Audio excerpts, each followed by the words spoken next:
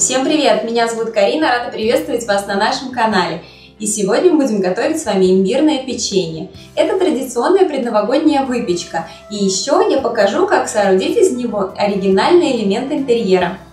Для приготовления нам понадобится сахар, мед, мука, сливочное масло, яйцо, сода и специи по желанию. Я добавила имбирь, корицу, мускатный орех и кардамон.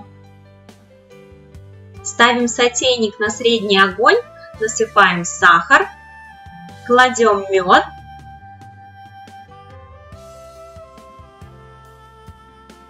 и добавляем все специи сразу. Смотрите, чтобы масса не пригорела. Постепенно специи нагреваются и невероятный рождественский аромат наполнит весь ваш дом. Дожидаемся, когда смесь закипит и сразу снимаем ее с огня.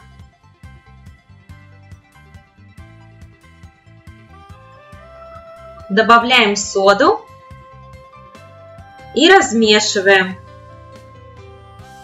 Сода вступает в реакцию с медом и масса начинает пениться. Кладем сливочное масло и смешиваем до его растворения.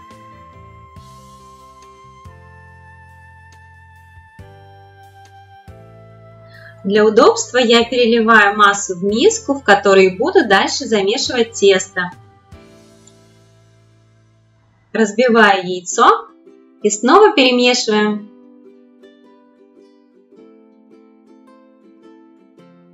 Теперь в несколько этапов добавляем муку, просеивая через сито. Пока тесто жидковато, я перемешиваю его ложкой, а потом уже замешиваю руками.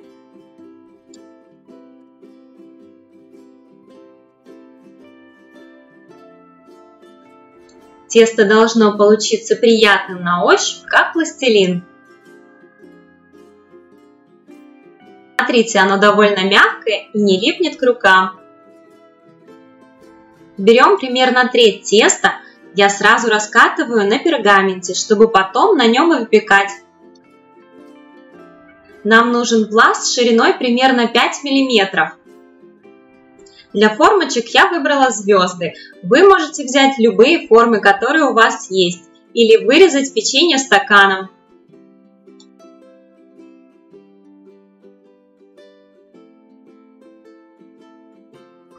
Убираем лишнее тесто и располагаем на пергаменте на небольшом расстоянии, так как оно немного подрастет в духовке. Выпекаем при температуре 180 градусов до золотистого цвета. У меня это заняло около 8 минут. Вот так оно выглядит после выпечки.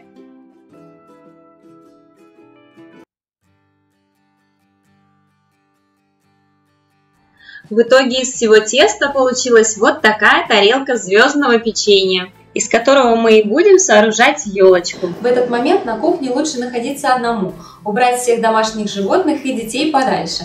Все на самом деле очень серьезно, поскольку температура плавления сахара 170 градусов, и если хоть одна капля карамели попадет на палец, это грозит моментальным ожогом. Также не рекомендую пользоваться перчатками, поскольку вы рискуете снять перчатки вместе с кожей. Ну что, напугала? А теперь готовим дальше. Для начала я сделала конус из ватмана и обернула его бумагой для выпечки. Насыпаем в сотейник примерно 100 грамм сахара и растапливаем его, поскольку крепить мы печенье будем именно на карамель.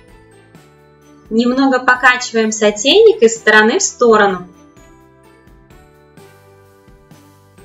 Когда примерно 2 трети сахара растопится, уже можно помочь ему силиконовой лопаткой и движениями от края к центру начинаем аккуратно размешивать. Как видите, весь сахар растопился.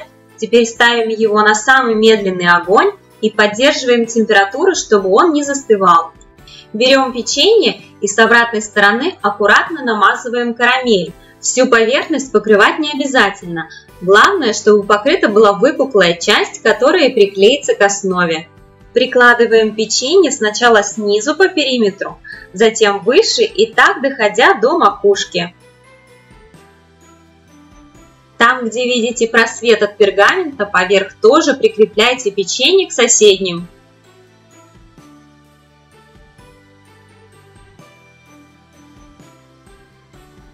Вот такая елочка у меня получилась. Выглядит очень празднично и нарядно. Такое печенье при комнатной температуре хранится очень долго, не менее двух месяцев, поскольку содержание природных консервантов в нем довольно высоко, а это мед и сахар. Но полагаю, что приготовленная елочка на Новый год вряд ли доживет до Рождества, поскольку она очень ароматная и вкусная.